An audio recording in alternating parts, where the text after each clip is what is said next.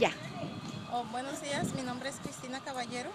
Estamos muy contentos de que se haya abierto la escuela porque yo vivo aquí en la comunidad de Montebella y anteriormente tenía que llevar a mi niña a otras escuelas que me quedaban lejos y ahora pues estoy aquí cerquita y me da mucho gusto que la hayan abierto.